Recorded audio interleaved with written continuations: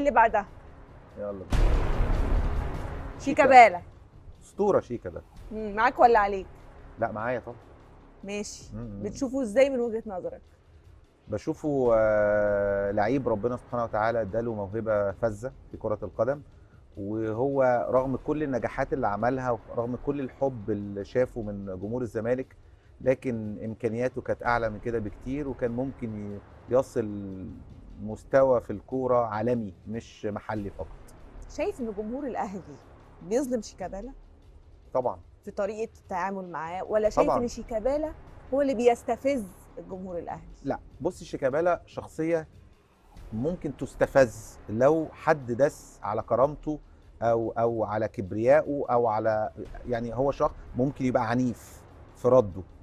دي شخصيته. وهم أهل أسوان كده.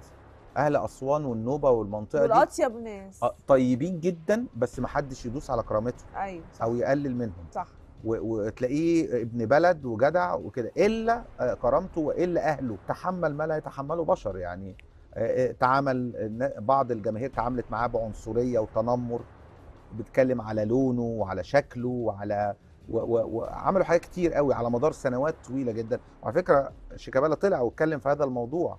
أيوه. آه، آه، مع الإعلامي عمرو أديب وقال أنا متضايق جدا من الموضوع ده. شيكابالا كان خدي بالك الاختلاف ما يوصلش للمرحلة دي. شيكابالا شيكابالا مش بيحب الإعلام ومش بيظهر في في البرامج. شيكابالا أول مرة في حياته يظهر كان في قناة النادي الأهلي.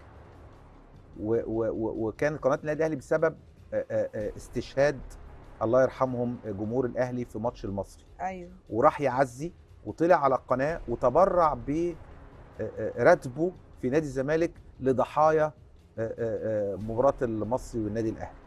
فهو شخص من جواه بني آدم لكن ما بيحبش التطاول اتربى تحت مدرجات نادي الزمالك. يعني الطفل عنده 15 سنة جه عاش لوحده في القاهرة تحت مدرجات آه، آه، جوه نادي الزمالك وبياكل جوه نادي الزمالك وبيتعلم جوه نادي الزمالك فكان لوحده في الحياة.